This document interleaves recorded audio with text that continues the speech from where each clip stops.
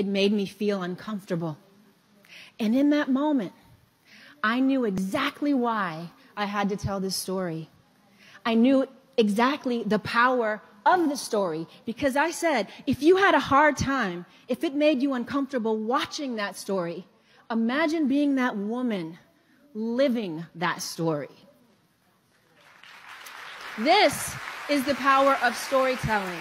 It can raise our consciousness and help us think outside of ourselves and our individual circumstance.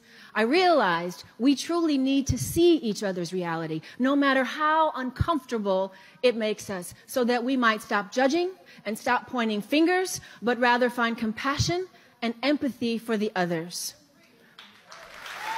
Now, here's the thing. I've been in the business for 30 years, and I used to think that if I could play a part of a white man, that I was winning. But you know what? Want to know why that didn't work? Because if you didn't know, I'm not a white man. so, for those roles to work, they would have to be substantially changed. It would have to be written with the reality of my journey in all of its beauty and all of its pain.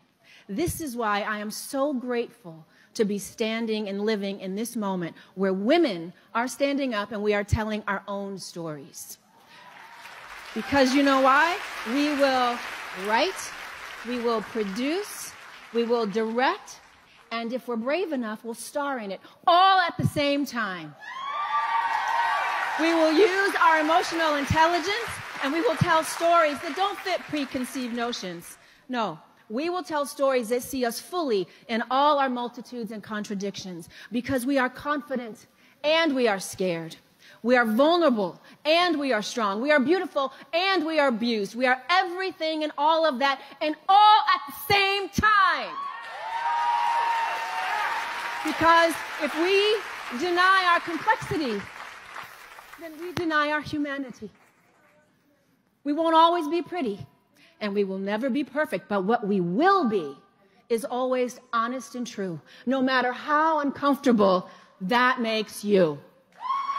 These are the stories we have to fight to tell, and these are the stories that the world needs to see. So, to every little girl who feels unseen and unheard, this is our way of saying to you, we love you and we see you, and you deserve every good thing in this world.